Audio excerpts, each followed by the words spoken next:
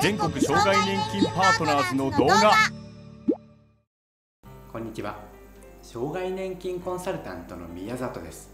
世界の年金ランキングというのを知っていますか？これは世界最大級の人事組織コンサルティング会社のマーサーが出しているランキングです。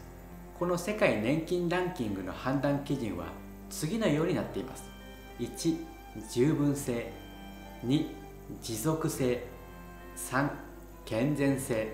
この3つの観点から100点満点で点数をつけ A から D のランクをつけているんです。さてここであなたに質問です。先進34カ国の中で日本は何位だと思いますか？それでは正解です。世界年金ランキングにおける日本の順位は29位です。34カ国の中で下から数えて6番目です。こちらがマーサーが出している世界年金ランキングの一覧表です。オランダとデンマークが A ランクとなっている中日本は D ランクとなっています。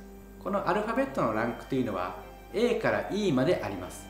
しかし E ランクというのは年金構築の初期段階または制度が存在しないという段階です。つまり日本の D ランクというのは存在する年金制度の中で最低レベルというわけなんです。しかも世界年金ランキングにおける日本の順位は調査が始まった2009年からずっと最下位ランクにいるんです。こんな散々な状態にあるのが日本の年金制度なんです。そのためうつ病で苦しんでいる人が簡単に障害年金を受け取れるようになるかというとその可能性はかなり低いと考えられるでしょう。ただでさえうつ病の障害年金の審査は厳しいんです。ちょっと書類の書き方が変わるだけで結果が変わるっていうこともあります。うつ病で働くことが困難な状態になっているのに適切な書類を作れなかったから年金を受け取れない。この矛盾した状況が改善される可能性は低いのです。それにうつ病でも障害年金を受け取れるっていうことを知らない人が多い現状も放置されたままです。国が障害年金の広報活動を大々的に行うこともないでしょう。なぜならたくさんの人が年金を受け取ってしまうと国が困るからです。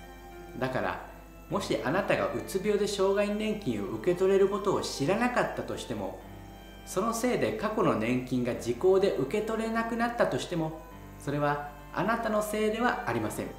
年金制度の広報をしない国が悪いんです。とはいえあなたに責任がないとはいえ障害年金を簡単に受け取れるようになるわけではありません。自分で手続きをする場合にはかなりの苦痛を味わうはずです。年金事務所に相談に行っても役所の職員はよくわからない専門用語を使って説明してくるため話はちんぷんかんぷんです。医師に診断書を書いてもらっても内容が不適切だと簡単に審査に落ちます。申し立て書などの書類も何を書くべきか何を書いてはいけないか人によって異なります。そんな障害年金あなたは自分でできますか？もし自分で障害年金の手続きを行うのは難しい。できるだけ障害年金の成功率を上げたい。そう思うなら障害年金専門の社会保険労務士に依頼してください。私たち全国障害年金パートナーズは日本で唯一のうつ病による障害年金専門の社労士事務所です。障害年金を通じてきっとあなたの経済的不安を解消できます。自分で手続きするかそれとも専門家に依頼するかであなたの将来が変わってくるかもしれません。まずは全国障害年金パートナーズのホームページから障害年金の無料判定を受けてください。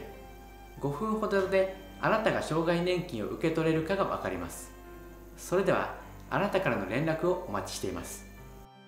うつ病で経済的不安を感じている人は魔法の靴とうつ病になったティラノサウルスという動画をご覧くださいあなたの不安解消につながるはずです。また、あなたのうつ病で障害年金を受け取れるか、私たちが無料で判定しますので、画面右上のリンク先からお申し込みください。